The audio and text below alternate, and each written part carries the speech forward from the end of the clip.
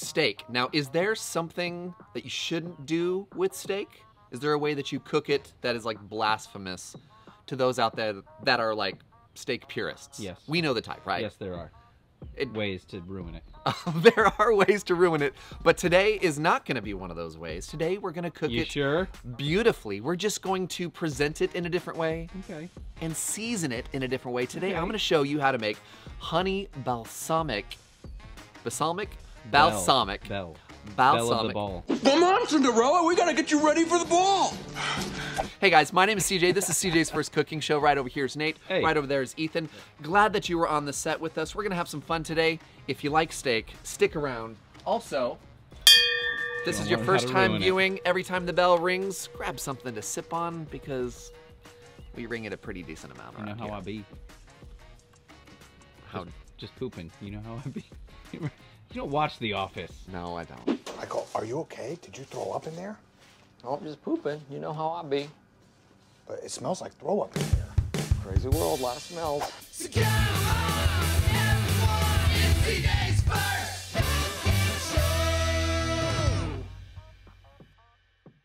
So now it's preference. You can use any steak that you like, but my friends, I recommend going with a big o thick fatty Dude, you ribeye. kidding. Look at that mother. Yeah, this is a monster. Feel free to use sirloin. Feel free to, uh, actually don't do like filet mignon because that would be a lot of steak. Mm. Not just not the an appropriate. expensive steak bite. A very expensive steak. It'd bite. be a steak bite. Pinkies up. Yeah. yeah.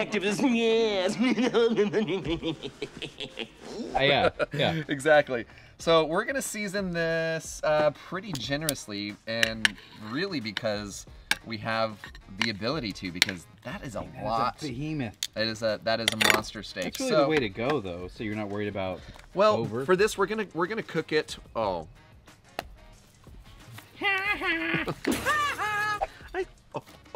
I- oh, oh. that was like a double whammy. Gotcha. ha-ha. Wait. All right. Back in business. oh. How many rings and brings have you oh. brought? I have brought none. I have rang none. Therefore, there won't be none. Don't start none. Won't be none. That fatty side. That's my bite. this is what we're gonna do. Starting things off, smoking hot, screaming hot, set to stun, as we like to say in the biz. Is screaming? It was screaming. More of a, not really a full scream. Hey, do you know uh, their Scream Six is coming out? Is it six? Yeah. Ethan mentioned it earlier. Hello? I'm sorry, I guess I dialed the wrong number. Now, while that's cruising, let's make our glaze. There's a there's not a ton of ingredients in this. It's but it is a process. You got a, a few things. So first off, we're gonna stall stall. We're gonna start with some. I have to say it. Balsam. I always I always get it backwards. Balsamic or balsamic. Balthazar. Yes. Balthazar. That expression alone has mm, made my entire night. Be pretty generous with this because that's gonna be like our main flavor. Now, right after that, we're gonna hit that with some soy sauce. And if you've never heard of this before, this is ponzu. It's kind of like soy, but a little zestfully clean. You're not fully clean unless you're zest fully clean. Ponzu and balsamic. Yes, we're gonna Sorry, be bow. Bal- Bal. Bow. Then we've got some honey. Uh, this is gonna give us some different sweetness with the balsamic. And then we're going to punch up the flavor with some of this garlic paste. You could use fresh garlic if you like, but the paste is just gonna incorporate well into the sauce. Uh, we're gonna get a little heat with some crushed red pepper. And then I'm um, actually gonna do a pinch of actual coarse black pepper. And let's give this a mix and set it aside because it's not time to work on that just yet. Our steak is still cooking. Our glaze is glazing, if you will. Glazy. So I suppose it's getting glazy. Stop being so glazy, Ethan. Kip hasn't done flipping anything today. The beauty of this recipe is there's not too many steps, but not a lot of moving parts. not a lot of moving parts, but oh, you do. Get, I know. get out of town. I know, I know. Shit. So that was like what? Uh like 3 or 4 minutes probably? Yeah, probably 4 minutes. Um we got another 4 sounds good. minutes there. Feel free to Just omit this from your recipe if you don't like it because really the star of the show is the steak. However, I personally think bell peppers go wonderful with steak. Now, I'm gonna do like a large, I'm just gonna do a large-ish dice. I think that that's probably a decent size there. I want them to be a little smaller than the actual steak bites, but big enough that you can kind of like toothpick it, Mm-hmm. or you know, just with a fork you can get it. One bell pepper, one bite of Those uh, fondue forks. oh, dude, I yeah, that would be fun. those. Like, it's it's almost like those long cigarettes. Yeah. but it's for your food. That's a good call. Yeah. Now, I'm going to add a little bit of heat, but also, I think it's going to be really pretty in contrast with the green and the flavors and all the things that we got going on. Maybe like Martha Stewart's new kitty litter. It's called Pretty Litter. oh, shut So bad. Never again. Never again. Dude, that was ridiculous. It's a good thing. They should throw, throw you in prison for that. Speaking of getting thrown in prison, Whoa. hey CJ, did you know?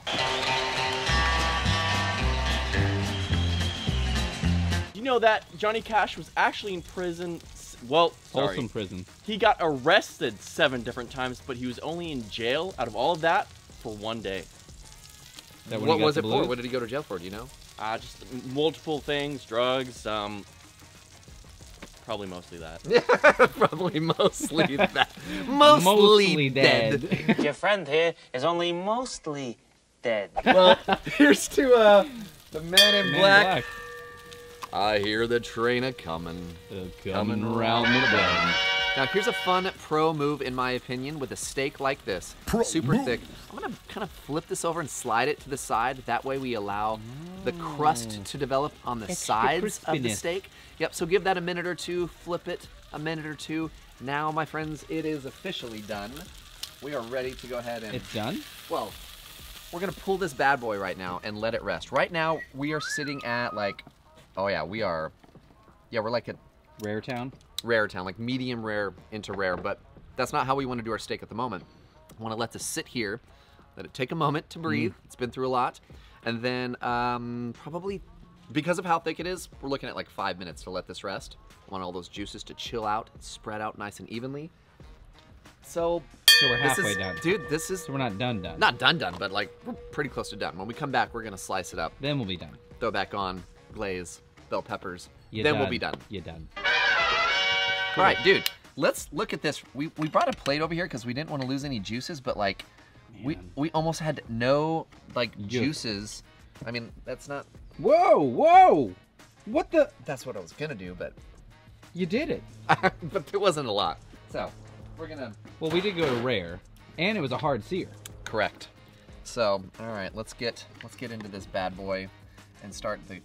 Let's This see- is the move right here let's for see steak how bites. yeah. Let's see how rare. We, oh, Oh, dude. See, we are still like That's gorge. So the reason we did this and got it rare is because here in a minute we're gonna be going back on and we're gonna get another wicked sear. That's the fatty bite I want. And I've done this before, and you did a video, and I was actually shocked because a long time ago I made steak bites, like literally two years ago, and I diced them up, or I'm Yep. sorry, cubed them up ahead of time, Yep. like what you've always done. And like you is in like the collective you, the, the royal, royal we. we. The royal we. Come to realize this is actually a better option because once you cube them up, then you've got slow cooking taking place here. We're gonna do a quick sear. Actually, speaking of which, before I even finish chopping this up, I'm gonna throw my bell peppers on because Into I the want fat? Yep. Oh, dude. I want these to cook right here Oh yeah. for just a minute before my steak. Gonna add a little bit of oil there and look at that, dude. Reintroducing that seasoning, the flavors, the fat. All right, so that's gonna cruise. Now, while that is cruising, we're gonna dice these up, really get them in. Um, I'm gonna go for bigger bites. You could go as small as you I want, like but the bigger, reference. It's toothpickable. toothpickable is a good reference. But the bigger they are, the like less chance you have of overcooking them, mm-hmm. right? And for a big steak like this, that's what we want to Like do. Like a medium steak bite. That's where it's at. I think this is it, dude. We're gonna introduce. Okay, so let's actually slide our bell peppers off to the side. Throw a little bit more olive oil down here, and start the searing process. Now, once we get some of that nice crust on all the edges, I'm gonna go ahead and start the glazing process. so we're gonna introduce town. this awesome honey balsamic glaze. Good lord, the aroma off the Now, dude, as it starts to cook, Whoa. it's going to reduce and it's going to thicken up and literally like glaze the steaks. Um, now, once you shiny. you might have to introduce the glaze like probably two, three times, uh, depending on how it starts to reduce and how long you have to cook it. But I think that we're at that point where this is Oh, done. yeah. So Oh, yeah. um, here in just a second. Nope, we're officially there. Let's go ahead and plate that. Now, what I have here is just a nice, elegant white plate. Going to um, pull those steak bites off, It's like family style. family style Toothpickable. I'm gonna keep that phrase. toothpickable. It's so sweet. so toothpickable. Uh, and then I'm gonna garnish with a little bit of fresh Italian parsley and these wicked screaming hot red chilies. Uh, this is beautiful, It's my friend. food. This What is What have you done? In this occasion, like most, I feel like a post dusting with our Blackstone Steakhouse is definitely a must. As they say, the post dust is a must. They? Uh, they You? being we, and me being us, and us being yes. That's Yes, exactly okay, right. yeah, Yeah, yeah, yeah, yeah, yeah, yeah, yeah. logic Uh, dude, this is fantastic. I haven't had one yet, dude. but I have a They feeling look wicked. this is going to be the best little steak bite that I've those. ever Save had. the neck for me, Clark. Okay, Eddie. dude. Juicy, It's a decent sized steak bite. That's how it should be. Yes. I'm gonna hold off on the red bell pepper for just a second, It's hot. but let's let's get into it. I it. snuck one and it burned my face. It's fatty, it's juicy, it's tender. The gr- like the honey. Quit talking about your mom like that. My mom actually watches the show. Your mom My is mom- a very lovely lady. Nobody feels I that would way. take her out to Sizzler. And never call her again. Can I uh, offer you a Oh. toothpick? Oh. Thick is the way to go. That Dude, way you have. medium. It's still tender. I know, I know. So, do, so we've still got Dude, that pink inside right there. proud of you. Thank you. I'm proud of me too. Leave it in the comments. What do you guys think? But speaking of comments, my friends, we are here. It is time for CJ's favorite comments of the week. From impressive to obsessive, a little spice and the not so nice. It's time for CJ's favorite comments of the week. For all you new viewers, this is the segment of the show where I screenshot comments from Ooh, you. that you do. Because if you guys write it, we read it. and then we have a good laugh, and then we unfortunately, spread the Christmas cheer for all to hear. Thanks, but I don't sing. exactly, fortunately or unfortunately, I like to share what you said. It could be a nice one, could be a not so nice one. Today, starting on the top, from no particular order, I guess we're gonna say this the top is being nice. yeah, Okay. maybe. This comes in from Dustin McGrew. McGrew. See McDuck's cousin. I'm so sorry, Mr. McDuck. Tacos look amazing. But dang, guys, cut back on the goofy interruptions. Literally makes the video almost twice Totally understand what he means. as long. Like if you want to hear somebody talk. and then Nobody's interrupting right talking. now. Even I am the one talking. is even the So this is what he's okay. Dustin, I get what you're saying. Hoffman? Dustin. I bet he's an excellent driver. Of course, I'm an excellent driver. That was deep. Leave it in the comments below if you know that reference. Uh, Dustin, nah, dude. I Yeah. believe is the term Yeah, you're looking dude. for. I think he was being sarcastic and he secretly loves the show and bought a Nah Dude shirt just for this moment. can jump out. I'm an excellent driver. All right, this is a fun one. This is like super random. Chris uh, Ostrowski, Oh. yep, um, says IHOP. I didn't know this. Just bought, just brought back the Rudy Tooty Fresh and Fruity, and I think you inspired them. We did! Rudy Tooty. I'll have the Rudy tooty. if you haven't yet, go back and watch the IHOP Rudy Tooty uh, mean the- episode. Rudy Tooty. Rooty tooty. How many times are we gonna say it in an episode? So hey, Chris, uh, thank you for filling me in on that. I did not know. Way to root and toot and leave a comment. Fresh and fruit. Oh, Sean, Sean Swanson, Swanny, Swammy, Swan, Swanny, Swan. Samsonite. I was way off. Uh, Sean says the guy behind the camera needs to shut up more than 50% of the time. Wait, so is this a mathematical equation? So 50% of 50% of the time it works Every Eh, That doesn't make sense. that's Sean, really great. sorry, I don't buddy, exactly what he's just- talking about, about talking too So much. are you saying that if I, there's if I possibly use half a as many words, chance that could be- Everyone relax. She's not going to take anyone's airtime. Jim Hanlon, hello, Jim. Jim Jim, Henson. Hanlon says, this show is like idiocracy on steroids. So, The movie Idiocracy, Ethan introduced me to, and that movie sucked. uh, so if this is like that on steroids, we should just shut this bad boy down. Okay, cool. Because See this ya. is, yeah. Good seeing everybody. Alrighty. All right. That's a wrap. You're still here? Get back. We changed our minds.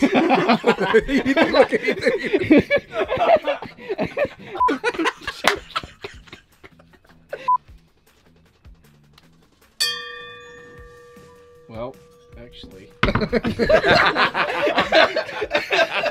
It's over. Go home. Oh, this is a twofer. Hello, Jim. Jim is back. Jim Hansen. Jim Hanlon is back. Hansen. Do up, da ba do up, Hansen. dibba da ba do.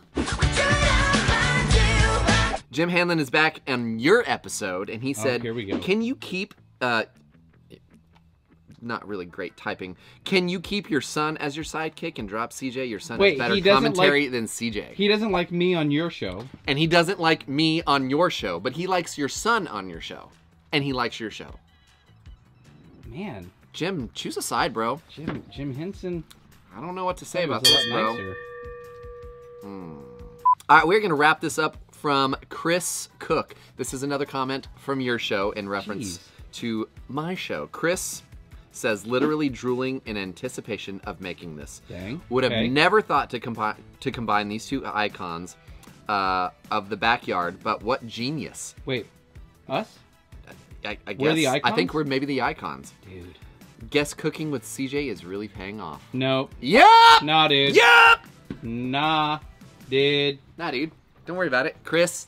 Yes, it is finally paying off. I guess. He's having a little fun with his life. He's not being rooty tooty. Uh, you just used my steak technique on your show. Appreciate you guys so much for hanging out with us. This was a fun. That was definitely the best steak bite I have ever made. I will use that technique from now on. Nate, I give honor Hmm. where honor and credit is due. Thanks, Who buddy. did you steal that idea from? I I- will let them know. It was your mother. Thanks, mom. Thanks, mom. Mom, I appreciate you. Be sure to go to blackstoneproducts.com. Also go to griddlenation.com. If you have not yet, it is always a party. You can go right over there to the party. Waiting for the, uh, yeah. And uh, nah, dude, you can find those. Uh, you got to look us up. You got to really go digging if you want those shirts. Those are special Yeah, ones. also, tell 'em where it is. someone the other day said um, that we need to do aprons. Okay. Like a ring and a ring apron. All right. I'm gonna figure that out. Um, if you wanna send me something to put on the OG board, please do. But in the meantime, ladies and gentlemen, this is CJ's First Cooking Show where we cook. And we quote. That's right. We will see you down the road on the Blackstone Network. You just stole Destination Delicious ending. I inadvertently did. They're great. They're really great. Thank you for the great ending. It's mine now. See you down the road. so come on, everyone, it's CJ's First